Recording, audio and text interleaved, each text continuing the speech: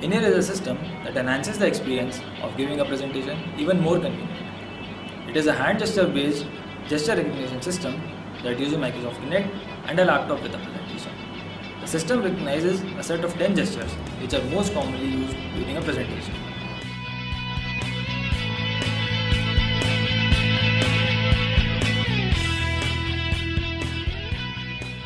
These gestures have been extracted through various empirical studies keeping in mind human-centered approach.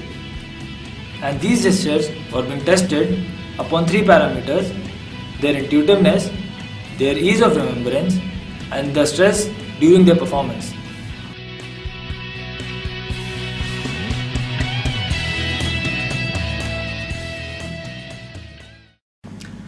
The system is based out of the Kinect SDK. We obtain the skeletal data from the Kinect SDK and identify the gestures based on the relative position of the joints of our body from the skeletal data. That is.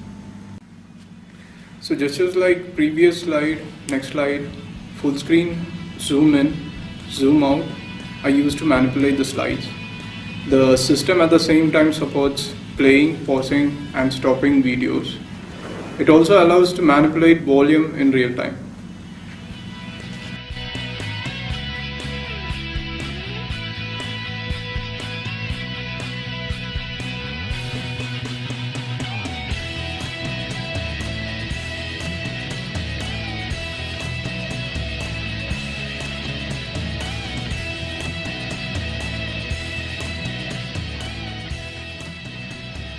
Upon user testing, the results are found to be motivating.